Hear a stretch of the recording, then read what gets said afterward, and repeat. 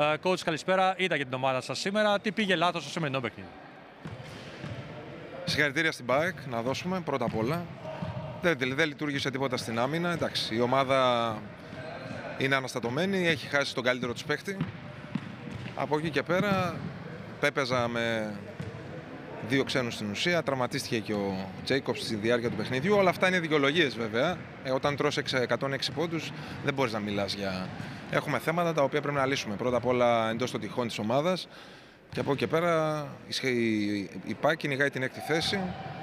Έχει παίχτες ταλαντούχος. Έχει ένα προπονητή που ξέρει την κατηγορία. Ξέρει την κατηγορία με την έννοια ξέρει για τον αντίπαλο. Μπορεί να διαβάζει, παίρνει ρίσκα.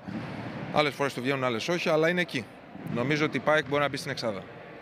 Ε, στο πρώτο ημίχρονο δεχτήκατε πολλά τρίποντα. Ε, ήταν ένα από τα κομμάτια το οποίο σας ανησύγησε και γενικότερα είναι ένα σημείο που μπορεί να χρειαστεί περισσότερο δουλειά η ομάδα σας; Ναι, η αμυντική λειτουργία σήμερα, ενώ είμαστε από τις καλύτερες άμυνες του πρωταθλήματος, με όλη την ομάδα.